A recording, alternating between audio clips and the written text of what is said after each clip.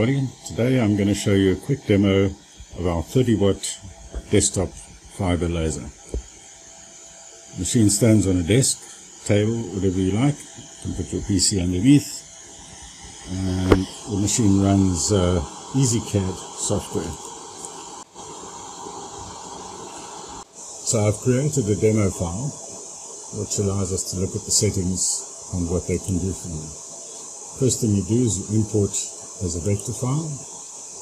File that I've created is called a fiber test and we open it and by clicking over here we bring it into the center of the screen. I'll just zoom in as well just so to get a better look at it. So we have three tigers. I'm going to do a black, a white and just an outline. We'll start off with the black one. Firstly what we need to do is just uncombine them because it's coming as a combined uh, image. So uncombine. If we have a look at the settings for the first one, we'll see the speed is 100, power is 30, frequency is 20 kilohertz, and the hatch is 0.05. Hatching is filling of the item. So these things were originally done in Corel Draw and they were filled there with a black fill. But bringing them in as a vector simply brings in the outline. So we want to fill them, we need to go to the hatching. So the first one we'll do is the black one. And we'll select it all, go up to the hatching icon. And we'll see we've got the options here. A lot of different options, but essentially the basic ones are here and the distance, the line distance is probably the most important one at 0.5. Smaller the number, the tighter the hatch and the longer it will take to do. 05 will stick on and we'll see we now get a full on that one. If we now go to down the bottom here uh, to mark select then it will only do the selected it will only mark the selected item which in this case is what we want. So we want to go to the parameters we see we've got uh, 100 which is what we wanted uh, we have a power setting of we want 30% and the frequency is 20 which is correct. So if you now go back here um, and we do the light, that will now show us where the image is going to be. And in this case I want it to be quite near the edge because we're going to put three of them in a, in a row here come back to here, we stop light and we go to the mark button.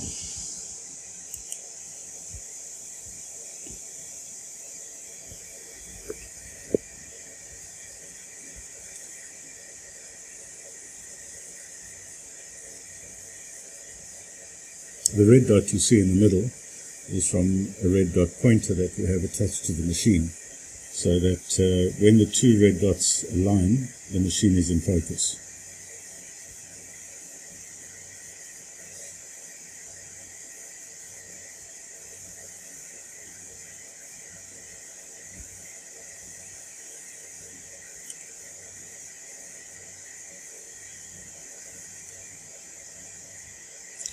There's our first one. Now we'll move on to the white one and once again we simply select. You see we have a speed of 1500 power uh, of 50 percent.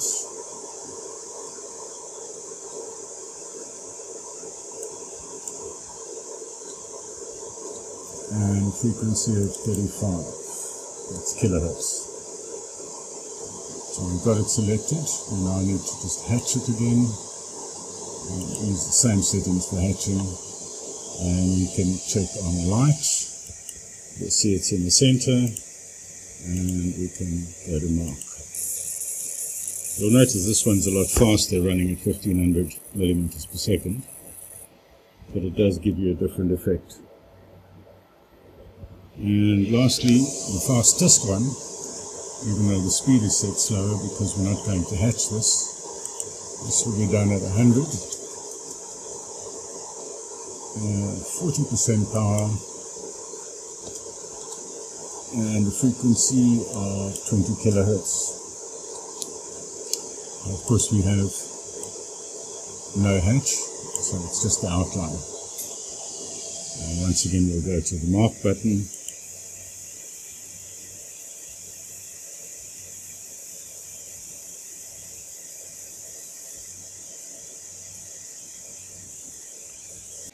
So here we have our three tigers that we did today.